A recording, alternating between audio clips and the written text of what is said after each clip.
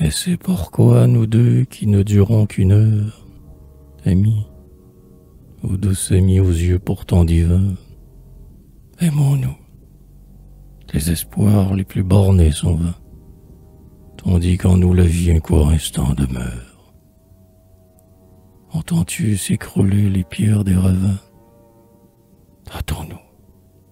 Que notre âme, avant qu'elle ne meure, touche au moins une fois au pur sommet qu'effleure un étrange rayon de bonheur surhumain. Car nous sommes pareils au duvet des chardons, à des flocons de neige au-dessus des abîmes. Un rayon de soleil nous frappe et nous fondons. Nous n'avons qu'un instant pour atteindre les cimes, et pour en retomber, et nous ne possédons que l'immortalité de minutes sublimes.